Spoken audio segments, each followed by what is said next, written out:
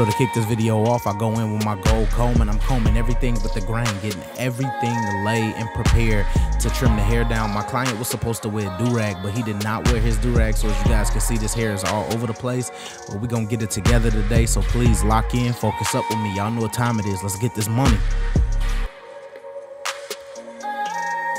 So I go in with a number two guard, and that's with the grain on my Andis ZR2s, and I'm just keeping everything consistent because you cannot really dig in the hair with this blade or these clippers. These clippers give you no room for error. You have to take your time. You got to pay attention to what you're doing. You got to keep everything consistent, and before anything, don't hurt the client. If you dig into the hair with detachable clippers, it will feel like that it's snatching the hair. So just take your time, keep everything consistent. As you guys can see, the waves is popping out.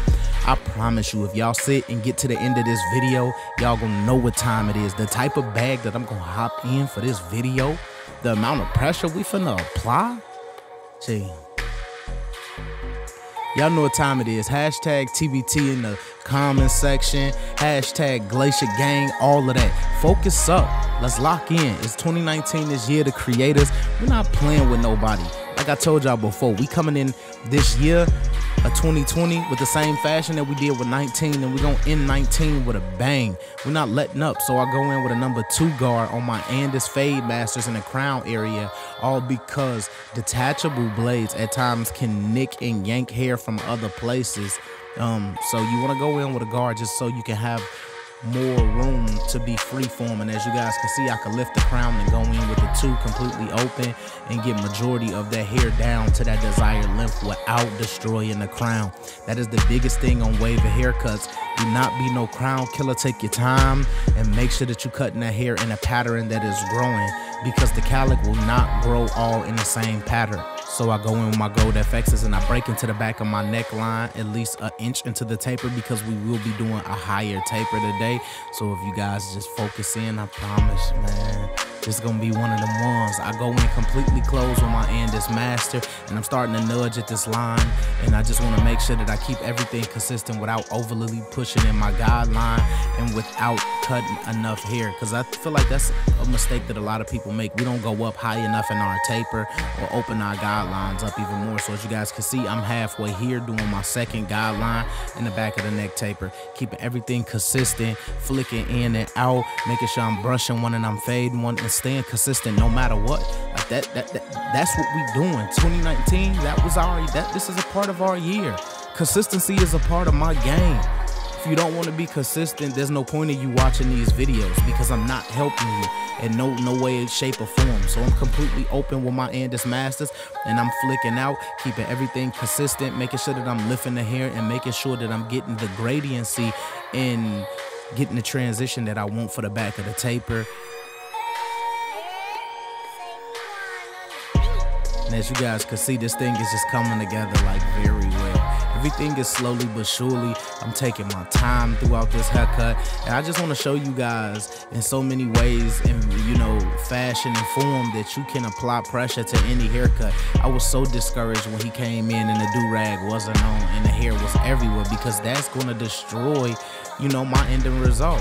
He did lose some type of progress, but at the end of the day, when you guys see my finished product, y'all gonna lose y'all mind. So I went in completely closed, and now I'm halfway here with my 116th guard. Everything is systematic. It's closed, halfway open. Everything is systematic for me.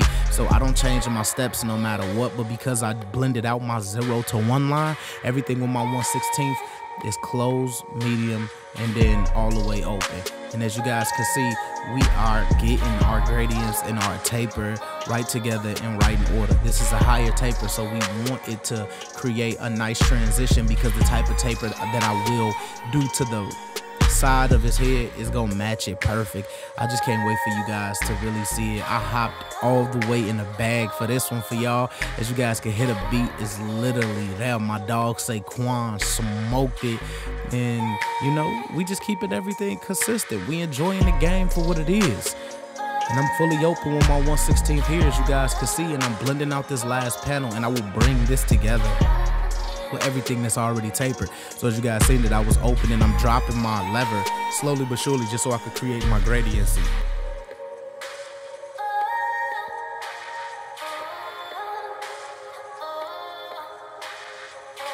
As you guys see, everything is coming together. Everything is systematic. Take your time, and I promise you, the game gonna reward you for everything you put into it.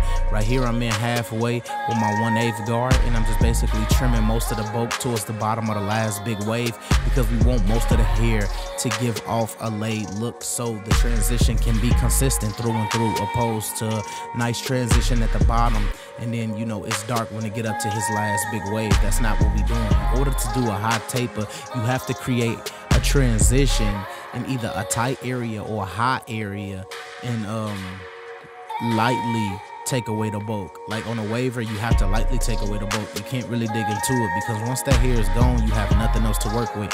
So I go in with my gold FX and I'm just hitting the sideburn area in a round circular motion so I could give it off a round bursted look to this taper. Then I go in completely open with my Andis Masters, giving myself about a half inch of a guideline just so I could create myself a nice size panel for me to blow out. Then I go in completely closed with my Andis Master, slowly but surely notching at the bottom of the line, halfway here, getting everything consistent, and we almost blended out. As you guys can see, you can make this job a 30 minute job, but details matters to me. I want the nastiest transition possible, so I'm gonna work at it non-stop, even if the hair is cut. And I'm completely closed right here, and as you guys can see, like I'm just nudging at the line with the corner of my blade. I'm not doing too much work because you want to slowly but surely take away the bulk from the side so you don't create another guideline. That's the objective when you fade or doing any type of, you know, um gradiency work is that you want to use the corner of your blade, especially when you're in tight areas, especially when you don't want to push the fade. That is very vital to your to your process as a barber. So I go in and repeat the same steps that I did up top to the bottom. Open, halfway, close. What you do to the bottom is what you do to the top. It's just reciprocated. It is finding the common denominator in barbering. You just take what you know in multiple uh, industries. We learned common denominators when we was in what sixth, seventh grade, maybe less lower grades than that. But we just applying steps that we had in other industries and the one that we have now and the one that we love now. It's kind of easier to read and you kind of create your own theory and everything becomes systematic to you to a sense. And that's what I'm talking about when I say uh, 2019 year the creators. We want people to come with a whole different soft flavor, flair, all of that. Like you want everybody to be in a bag solely just because it's, it's it's it's too many flavors in this world for anybody to say that they got the game, you know, by the neck. It's impossible to possess every you know every skill set of the game. You can work on it and you can further education, and that's what it's about.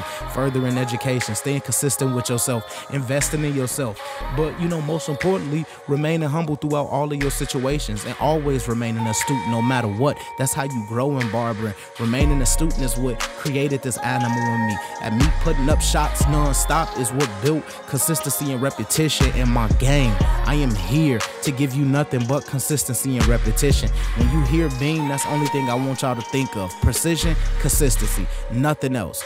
Like that's my objective this whole year is to put up the shots non-stop. So I go in with my spritz, spraying everything, getting everything in order just because this lining is not hard, but I can see where a lot of people will mess it up. You kind of got a light spot in the middle of the lineup and two lighter spots in the corner. So I'm gonna show you guys how to keep everything consistent and keep everything laid and prepared for the next step. So as you guys can see, when I go in with my spritz, I'm laying everything down. I gotta prep the hair. And then my next step is for me to go over the head with my Andis Fade Blade on my Wahl 1919s by my boy Filthy Blends. If you don't know how to spell that, go to Instagram and you spell filthy with a PH instead of a F. And then it's filthy underscore blends is spelled with a Z. And you'll be able to get the bracket that will be able to convert your Andis uh, blade and put them on your Wahl body. So I just keep everything consistent. Once I lay the hair down with a spritz, I go in and I just freehand over it. Then I go in with my gold FXs and I start tapping into the vertical bars of the neckline.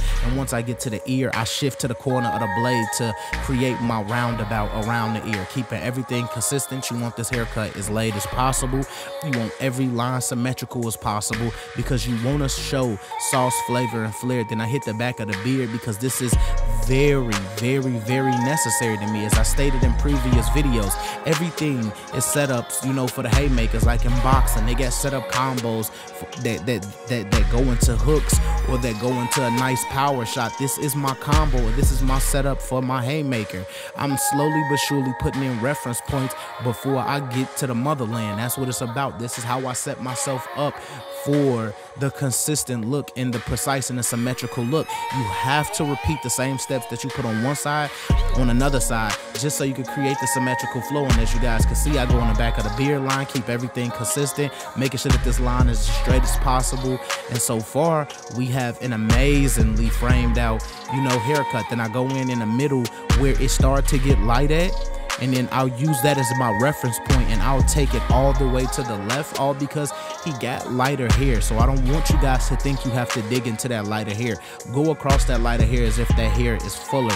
You want to be able to portray a clean full look without taking somebody back. And you kind of want to, you know, get a gist of what the lining will look like just in case you have to take them back. It's always safe, you know, to leave more hair and you know work with the line that you got now opposed to digging to the hair trying to fix a lining off back and you took the lining you know too far back. The average barber would have took this further back because of the light spots but you don't need to. That is the whole point about finessing and becoming you know a barber. You kind of tend to see things you know in a different light the more you put up your shots. And because the lining is my favorite thing i know for a fact i wouldn't have to dig into the light spots. I'll take it as easy as possible. I'm playing as fair as possible. I'm tapping and going and i'm not applying a lot of pressure on my clippers to the client head because my clippers are very sharp. They can handle this job on their own. The objective is just to put the clippers in a place and not give off a lot of pressure. You let the clippers do all of the work that they're meant to do. When Bagels created this clipper, they knew what type of power they were putting in this clipper. They knew what they were giving the average, you know, the average barber or consumer that picked up this clipper. So this clipper does not need a lot of weight distributed to it when you applying the line and do not press your lines and you just let everything naturally come to you and you're able to get the Chicago seeds and everything else. So I go in with my boy Sean Cuts hair, color enhancement card, the clutch car, and I'm going in with my product, the Beam Team Cordless Compressor, assisting it with our other product, uh, no drip. And I'm basically going in and I'm spraying at a three to four inch radius and I'm keeping everything consistent. And as you guys can see I'm tapping my finger and I'm spraying in spurts because you don't want to overly apply this color and you don't want to add too much color. When you have a lighter spot the color can tend to look weird if you overly apply it in a light spot. So you kind of got to learn your checks and balances with applying color but due to that card I'm able to stay in my boundaries next I go in with a Barber Magic pencil and I'm basically sketching, you know, a line over my lineup, concealing the lineup like women. They will go in, they'll color the eyebrow, and after they color the eyebrow, you know, they'll go in and conceal the eyebrow. And that's my objective. My objective is just to apply what I see in another industry in mine and make it work as best as possible and, you know, bend shapes, you know, non-stop and show a level of precision that the client has never seen. So I go in with my gold FXs and I'm lightly hitting the line up again. So after they put the concealer on their eyebrows, they'll go in with a blending brush and basically blend the conceal or the concealer out so it's not too harshly white. As you guys can see, I'll just be replacing their blending brush with my trimmers. And as you guys can see, the spread and the consistency in the Barber Magic Pencil once I hit it as it spreads across the skin and shows that contrast. That's what I'm here for. I'm here for the looks that you can't get in the average shop. I'm here to be able to take some of the cleanest pictures possible. And I'm also here to install confidence in any human being that sit in my chair. When I signed up for barbering, I signed up for life changing. I didn't sign up to be the nicest with my hands. I signed up to change lives. I signed up to impact lives. I signed up to influence and educate myself at all times. I signed up for a career that has no no no max like the potential is through the roof. It is a forever growing industry. You guys better remember that and respect that. That barbering is just not picking up clippers and cutting hair. There's so many factors that go into barbering that make people great barbers. You know, create your recipe. And then people will be able to test your flavor out. That's what it's about. You have to be able to stand on everything that you produce in the shop because that is a, a, a walking image of your hands. It's a walking image of what you do every day. My objective is to instill confidence. I even cut nose hairs. If you see me, like I do it all. The objective is to get the client as clean as possible. And as you guys can see, we in that bag. I go in with that Tomb 45 triple cartridge razor. I'm stretching the skin, angling the razor at a 45 45 degree angle, bringing everything back to the line. And as you guys can see, it's nasty. We're not even near. Like this is just the first lap. Like this is our first lap around the lineup with the razor. We go in with a whisk, we dust everything off, and we repeat the same steps. Because the first time you do something, it may look clean or okay, okay, but it's not it. I put up the shot multiple times. Repetition is key. The more you shoot the shot, the more comfortable you gonna get, and the more times that shot drop, it's gonna be something added to your arsenal.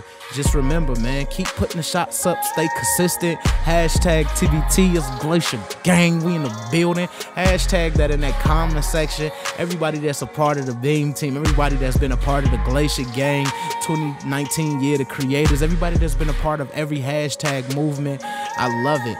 I love it, and I can't even express to you guys how much that I love it just because I've been applying so much pressure with the videos. I've been consistently dropping my videos, and it's only to get you guys' reactions and you guys' feedback. You guys deserve every bit of my information that come from me. You guys deserve every bit of my effort in terms of content creation. I've built a family, I've built a community here. Hashtag TBT in that comment section. Y'all know what time it is. Lock in, focus up. It's our year. So I'm keeping everything consistent, angling that razor at a 45 degree angle, bringing everything back to the line and not taking no as an answer. This lining will cooperate with me because I apply pressure to it. That was the objective. I wanted everything to fall in my place, nothing to be out of line bag season. Y'all know what time it is. We go in with a pick and we just raise the hair and we using our Andis fade blade on our Wahl 1919s and we just shaping everything. And as you guys can see from this angle, the pressure was applied. I literally played no games with the world in this haircut. No games at all. In the imperfect world, we do get clients that come in like this. They did not wear their do-rag the night before. The hair is all over the place. And at times you think you can never fix it. But on my team, this how we get down. Hashtag TBT. It's the Beam team. Lock in, focus up, strap in. Let's get this money. Hashtag Glacier Gang. Hashtag Glass. We in the building. We ain't playing no games. It's 2019. This year the creators, and may God bless.